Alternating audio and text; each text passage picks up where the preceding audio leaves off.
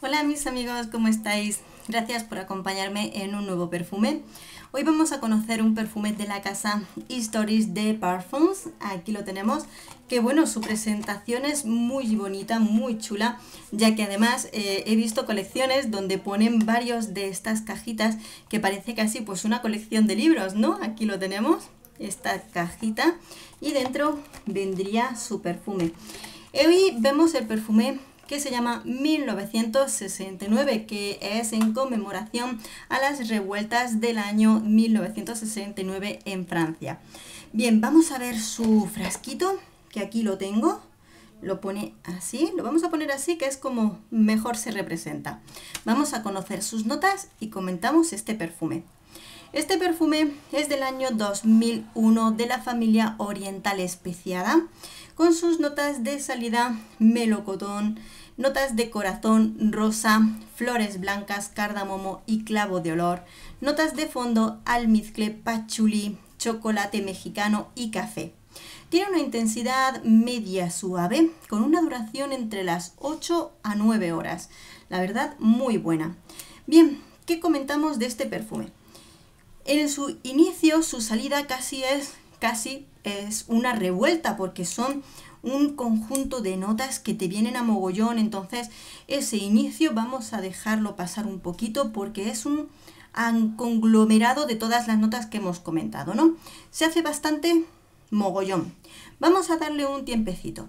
En cuanto le damos esa nota, vamos, eh, ese tiempo, vamos a empezar a notar entre sus notas, sobre todo el melocotón acompañado de una rosa que viene acompañada por estas especias, ¿no? Una rosa especiada entre cardamomo y clavos de olor.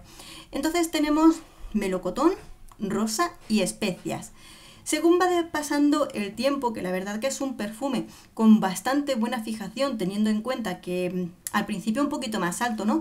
Pero luego se nos hace medio suave. Pues con esta buena duración, luego nos encontramos con que poquito a poco van bajando de intensidad las notas del melocotón y de la rosa, seguimos teniendo un tono especiado y va apareciendo sobre todo lo que es la nota del chocolate, chocolate mexicano nada menos, y notas de café. Yo diría que sobresale un poquito más, al menos en mi olfato, lo que es el chocolate por encima del café. O sea, de un perfume floral de día se nos va convirtiendo en un perfume nocturno.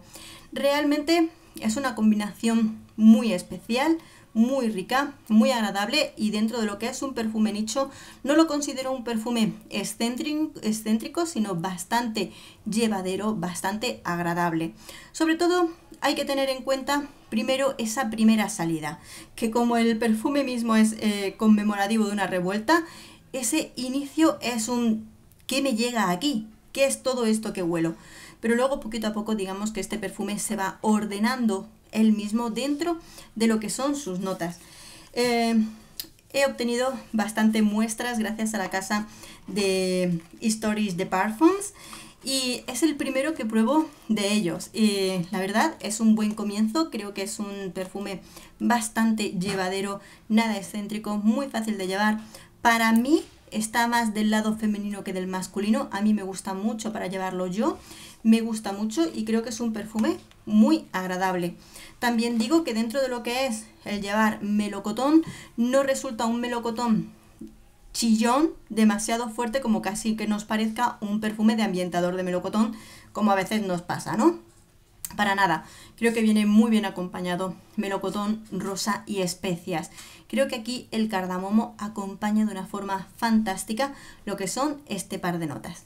Bueno amigos, seguimos conociendo perfumes de todo el mundo, de todas las casas nicho posibles.